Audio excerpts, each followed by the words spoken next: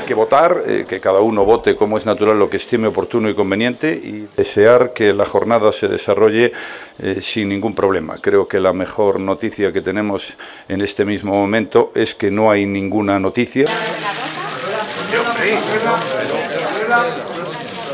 Cada uno de nosotros somos eh, un enorme potencial de cambio. Cada uno de nosotros podemos decidir el destino de nuestra ciudad, podemos cambiar el mundo.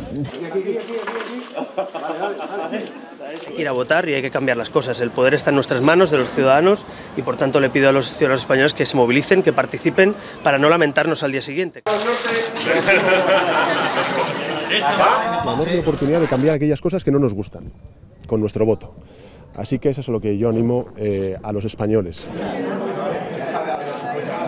Son unas elecciones que son, como hemos dicho durante toda la campaña, muy importantes para toda la sociedad porque van a mandar una señal, una señal de cara a las elecciones generales. Espero que el Espíritu Santo inspire a los madrileños para que voten lo mejor para Madrid.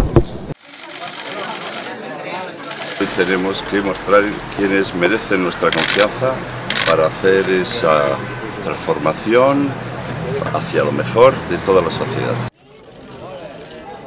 Que estamos en un momento de ilusión, de movilización, como hacía muchos años que no se recordaba.